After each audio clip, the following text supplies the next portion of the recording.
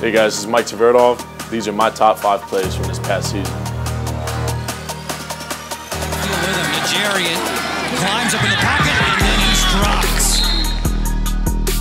Plummer takes a snap, he's gonna try and run. Rutgers not fooled! Shut down back at the 20-yard line.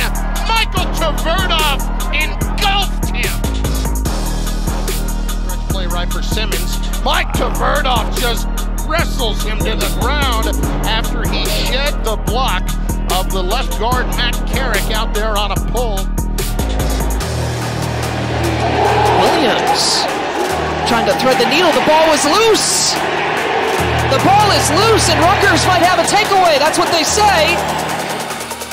My number one play came against Maryland. It was a third and long. The game was on the line. We brought the house. The quarterback stepped up, and I was able to make the sack. It was a pretty exciting moment for the rest of our teammates.